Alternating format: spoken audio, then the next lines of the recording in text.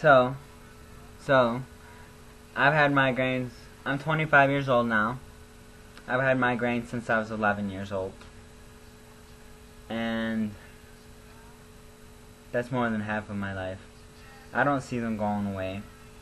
It's something that I've kind of came to terms with. Um,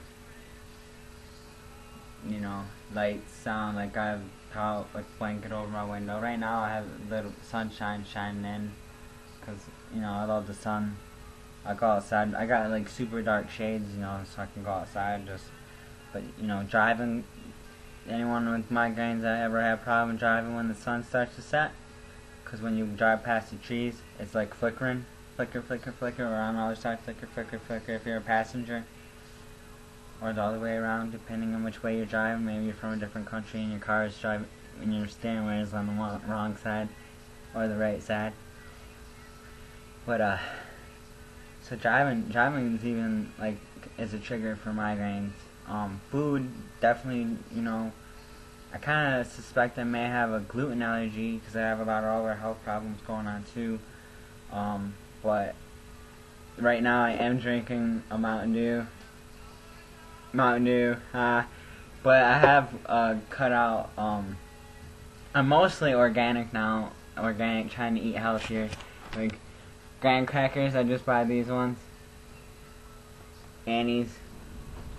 They're they're pretty much the same price. Plus, plus I'm only, I only have to buy for myself, so it's a little bit easier to buy some stuff. Here's some good pop that I changed over to. This is Hansen's cane soda it's it's clear this is orange flavor. You can't really tell since you can here. I drank that last night or yesterday. I don't know. But that's some pretty good. It's no caffeine, no preservatives, all natural. If if that is something that you need to. But uh, it doesn't have high fructose corn syrup because I cut out high fructose corn syrup out of my diet. Besides this Mountain Dew I'm having.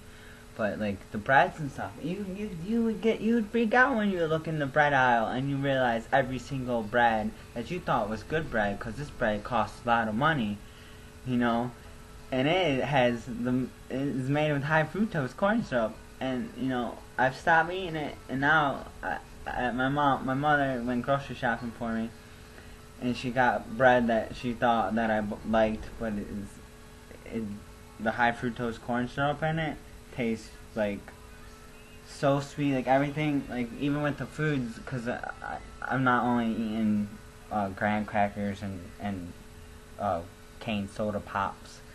Um, so like everything I eat is like my tastes are changing. I'm finally, I'm finally like liking tomatoes. Like I, I never liked tomatoes. I never even liked ketchup as a kid.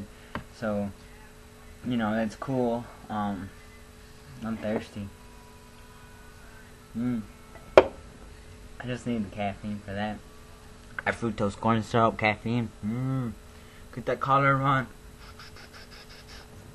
Um, yeah, color run, color, color run 2013, Ypsilanti, Michigan.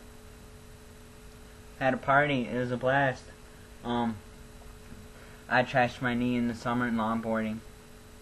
So, don't think I'll be doing any color run soon. Maybe we'll call it rock.